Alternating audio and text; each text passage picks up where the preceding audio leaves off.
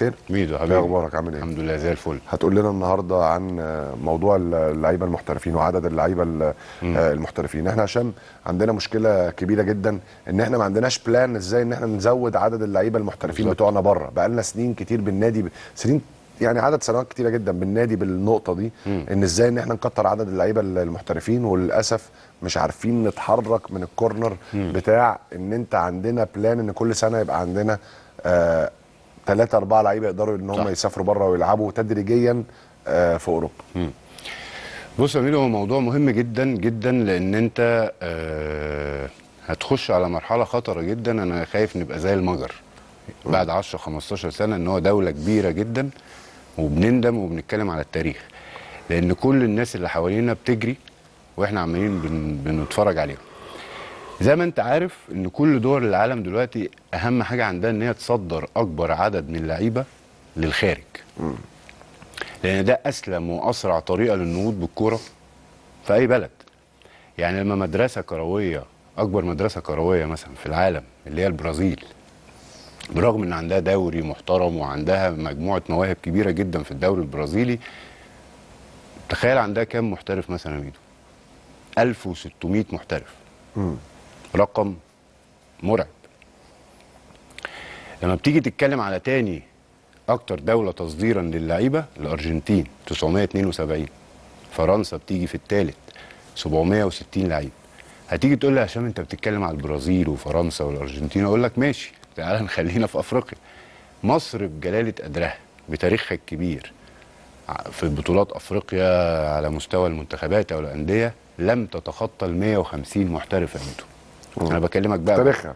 على عمان واليمن والدول الخليج وأوروبا واللي أنت عايزه. لما تيجي تتكلم بقى على أفريقيا بكلمك في 150 لعيبه على مدار التاريخ. تعال نقف عند نيجيريا اللي على قمة الكورة في أفريقيا. عندها 399 لاعب محترف. رقم يخض. منهم يعني كام لعيب بيلعب في أوروبا مثلا؟ لا ده عندهم بتاع 87% كلهم درجة أولى. يعني بيلعبوا في في في في, في الدوريات الكبيرة وكلهم بيلعبوا في الدرجة الأولى. بتيجي دلوقتي بتيجي تبص مثلا لما أنا بقى في تاريخي 150 وفرقة زي دولة زي نيجيريا 399 يعني بص كده يا ميدو. نيجيريا أول القارة ب 399 ده اللي بيمتلكوهم دلوقتي. بيمتلكوهم 2019 2020 آه. موجودين. غانا في المركز الثاني 312 السنغال 260 كوت ديفوار 204 الكاميرون 180 مالي 85 جامبيا جامبيا 61 المغرب 52 زيمبابوي وغينيا 50 50 هتيجي تقول لي طب مصر؟ فين؟ هاجي أقول لك مصر في المركز ال 15 ب 33 لعيب محترف. إحنا عندنا السبعة تمانية التسعة الموجودين منورين هم دول اللي إحنا بناخدهم. الباقي طبعا في ناس ما تعرفش اسمائهم وبيلعبوا في دوريات غريبة لكن على Transfermarkt والحاجات دي هم دول عدد المحترفين الموجودين. فدي حاجة مقلقة. حاجة مقلقة لأن أنت بتعتمد على الدوري المصري. والناس اللي حواليك ودي هتلاحظها يا ميدو أنت راجل مدرب وفاهم. زمان لما كنا بنخش تصفيات في أفريقيا أو تصفيات كأس عالم كنا بنيجي كلنا كجمهور في التصفيات نيجي نقول معانا مين؟ مغرب تونس جزائر سنغال كوت ديفوار. بتبقى عينينا على المنتخب ده والفريق التاني والتالت بنبقى ضامنين إن إحنا هنكسبه هناك وهنا ويبقى الصراع كله مع على البطاقة على الفريق القوي. لكن دلوقتي مشكلتنا الكبيرة هي إن أنت بيطلع لك منتخبات أنت مش عامل حسابها. زي في التصفيات دلوقتي أنت معاك نقطتين. مثلا منتخب زي أوغندا أنت مش عامل حسابه.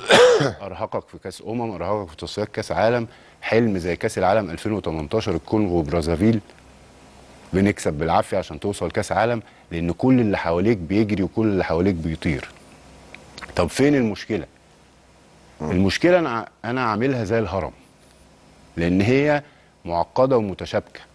أنت بتتكلم الأندية عليها لوم واللعيبة عليها لوم والمنظومة نفسها عليها لوم. لما بتيجي تقول طب نقطة نقطة الأندية تعنت الأندية والمطل... وال... والأرقام المبالغ فيها عشان أصفر لعيب. أنت راجل قاعد قدامي مثل أهو من أنجح المحترفين اللي جم في تاريخ مصر.